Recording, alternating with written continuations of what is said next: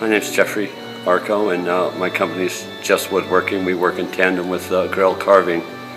We primarily take care of all the casework, and Ian takes care of all the carving. Uh, the job has 675 parts. We use 4,000 board feet of walnut.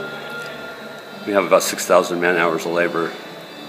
But the guys installed it They're also the guys that built it.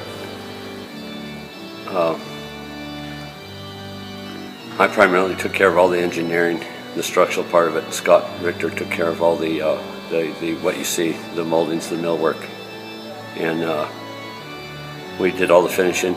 We, we packed it, we unpacked it, we uh, installed it.